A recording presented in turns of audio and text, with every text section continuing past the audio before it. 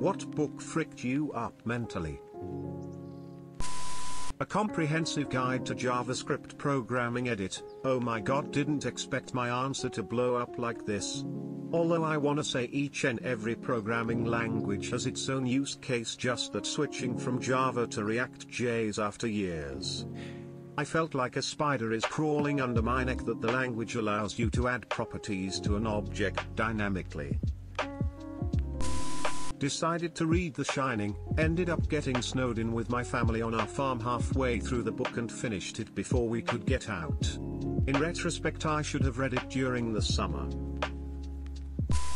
Where the red fern grows, being forced to read that sent grade school me through a roller coaster of emotions. Edit, I really appreciate all the upvotes and people sharing their stories slash experiences with this book, I figure I'll share mine. I was a bookworm between 5th and 6th grade and was really enjoying the book, so I decided to read ahead and finish the book. Needless to say 11 year old me crawled in bed cried like a baby. Then after the whole class finished the book we went on to watch the movie in class. It resulted in a room full of kids sobbing. I can only assume this is why I have more sympathy towards animals than I do people. This book definitely left an impact on many of us.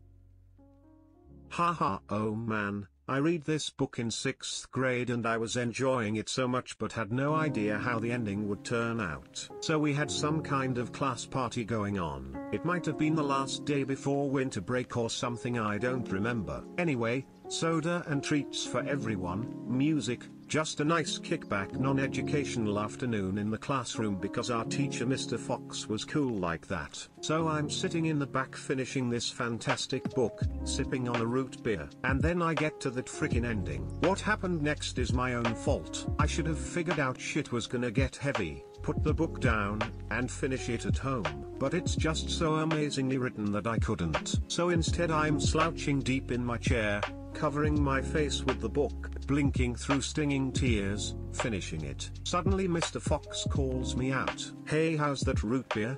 Hey John Walker's beard, you enjoying that root beer? Hey, hey John Walker's beard. Hey, what's going on?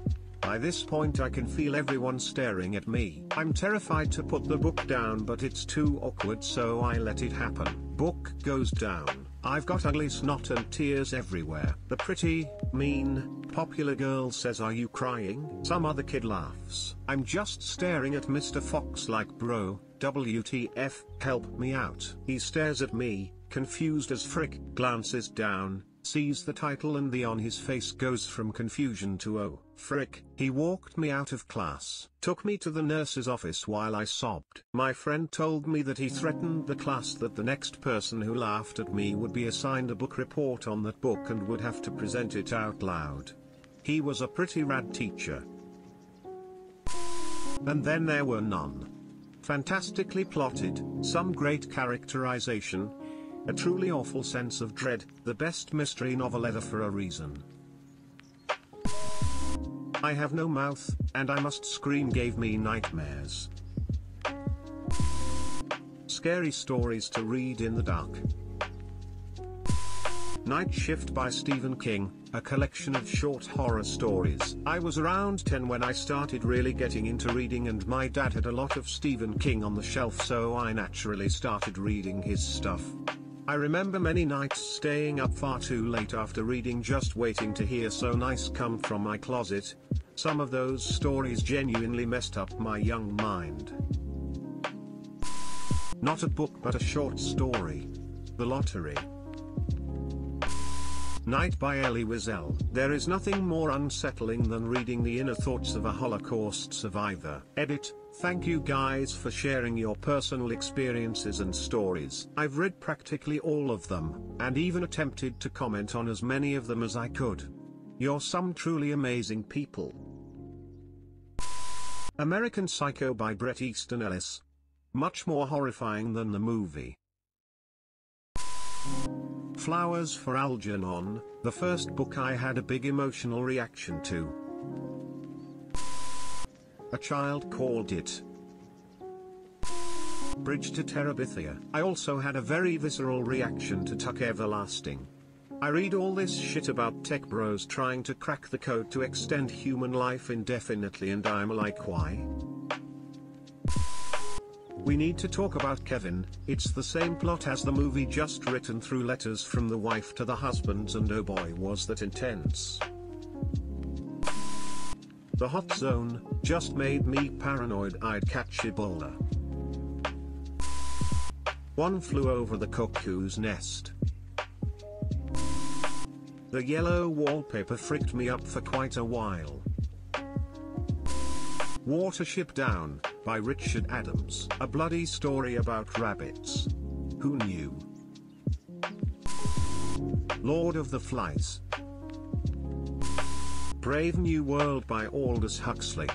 Blew my young mind away and really made me think about how society is organized. The Giving Tree.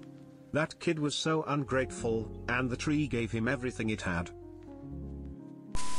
The Things They Carried by Tim O'Brien. It tells the story of American soldiers in Vietnam during the war along with explaining what mental and physical things that each held.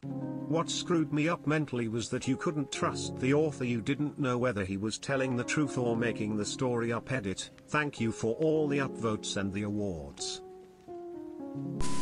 It by Stephen King. I read the first chapter when I was about 8 and literally spent the next two weeks shivering in my bed every night until I got up the courage to talk to Dad, who went and spoiled the ending to reassure me. Go ask Alice. I read it when I was 12. It was the first time I had read a book like this and it shook me to my core at the end. Frown. 1984 when I first read Animal Farm in my early teens. I was at the age where I could recognize the parallels with real life and it fricked me up for a long while. All animals are created equal. But some are more equal than others. House of Leaves was really unsettling. My Algebra 1 textbook. Of Mice and Men. Cat in the Hat, I was molested when I was 7 and I knew what happened. So whenever the cat said your mother won't mind flashbacks back to when I was 7. Misery by Stephen King. That book slowly breaks you as you keep hoping that the protagonist survives the horrors he faces. Mark Twain's autobiography, where he said, But who prays for Satan? Who in 18 centuries, has had the common humanity to pray for the one sinner that needed it most. It changed the way 14 years slash me saw theology forever. I read Sylvia Plath's The Bell Jar when I was in 7th grade for accelerated reader points and I haven't been the same person since.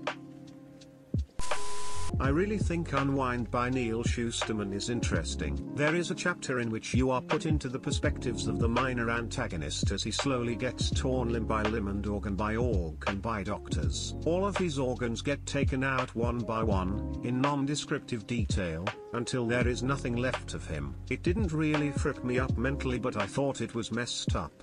Additional note, it even gets more messed up when you remember that the person who is getting torn limb from limb, harvested for organs, is legally a child. The Kite Runner The Road by Cormac McCarthy The Giver The Lovely Bones, and Lolita both books I had to read for a course. I'll never reread them, truly disturbing. The Book Thief. The Plague from A. Camus edit, thank you for Golden Kind Stranger. The Stranger is also really good and so is Sisypho. I personally understood absurdism and author's thoughts the best in The Plague and it was a mind frick in every sense of the he word. Camus writing is incredible. It's not beautiful but it impacts you. I came into this thread to say the stranger. Four sharp knocks at the door of unhappiness. Flowers in the attic. I remember in middle school all of these girls carrying VC Andrews books with them. None of those girls had parents who would let their kids watch movies with swear words in them but they don't notice their daughters reading books that are straight up about incest. Fahrenheit 451 Haunted by Chuck Palahniuk Sharp Objects. It was the inception of Mind Freaks for me. A Child Called It by Dave Pelzer. It's an autobiography about the child abuse Belzer suffered through as a young child. He goes into detail about wounds slash the abuse. He has a few books about it. It's probably one of the worst cases of child abuse I've ever read about. Fricked me up reading it as a young kid.